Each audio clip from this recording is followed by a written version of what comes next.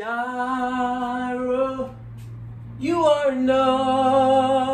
So here it is. One simple key to stay focused in life. It's very simple. Number one, and there's no other numbers. This is it. Master simplicity. Or you can say minimalism. Very simple. There's a story in the Bible that speaks of Mary and Martha.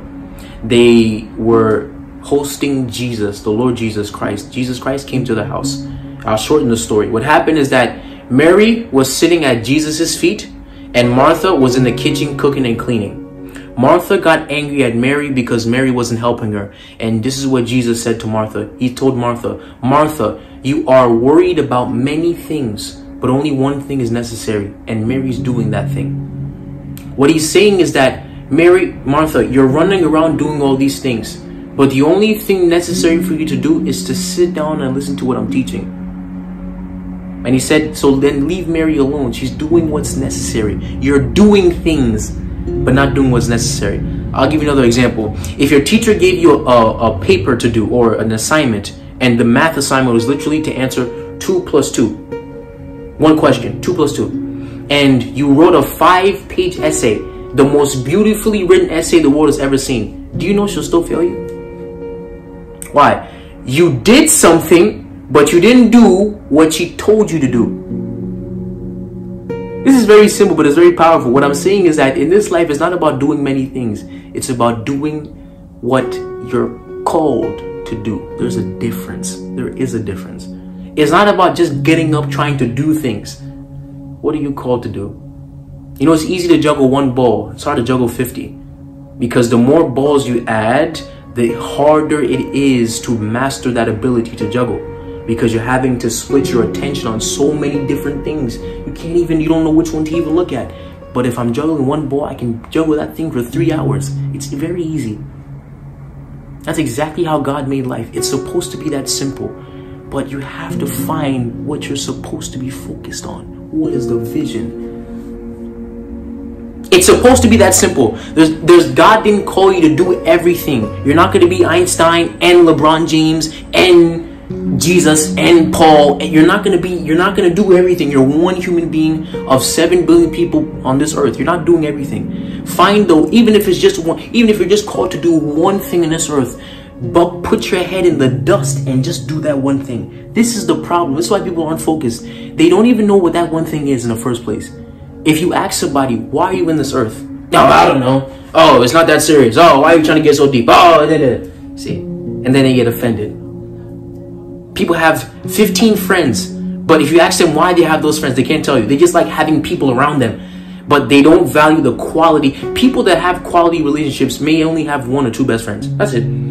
But they're quality friends, quality people that can grab them by the shirt and tell them to fix and and and and and, and do you understand what I'm saying? They can see them slipping up and grab them by the shirt because they know them. They know this is not you. Not just a friend laughing and giggling. Quality friendships. People have conversations, shallow, no depth. You you ask them what's your plan for the next five years. Oh, I don't know. Eh. But you, they'll talk about how many points LeBron scored. Shallow conversations, but they'll talk to everyone. Just talking, talk, talk, talk, talk, talk. Just talking, just talking, just talking, talking, talking, talking, talking about nothing. You'd rather be the person you may not speak so much, but when you open your mouth to have a conversation with somebody, you're talking of destiny matters. Let's sit down and talk about our plan to change America in the next five years. That's a conversation. That's a conversation. I can sit down with somebody and plan how to change an entire. That's the. I, uh, that means even if I only have two friends that I can talk about things like that with, I'll take that over having 50. All I can talk about is what I did on Friday, or how many points LeBron scored, or what this celebrity. They, they only want to talk about surface level, shallow things. They don't want to talk about changing the lives of men, transforming societies. They don't want to talk about life. They don't want to talk about actually solving problems. That's what you're here for. You're here to solve problems. That's why you're born in a time like this. It's not just to come and have fun. Jesus said, I came to save sinners. He had one focus. He wasn't focused on many things. He knew what he was here for. So if you come with distractions, he, that's why he told Peter, Get thee behind me, Satan. You're trying to distract me from my purpose. I have one assignment. I need to get to that cross.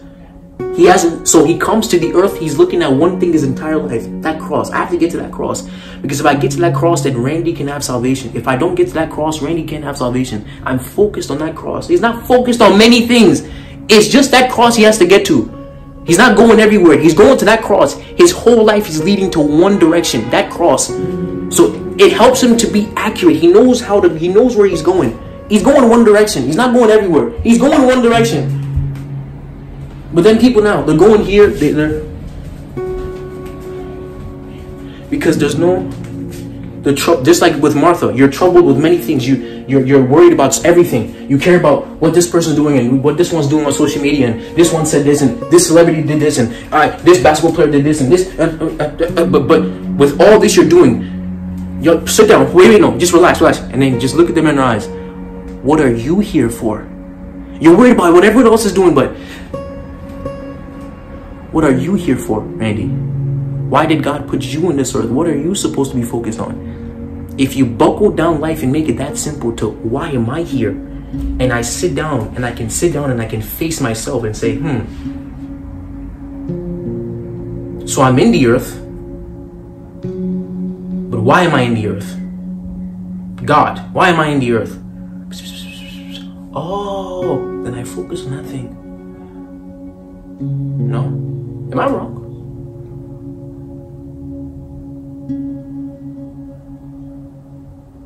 This is the mark of great people. Study any great man.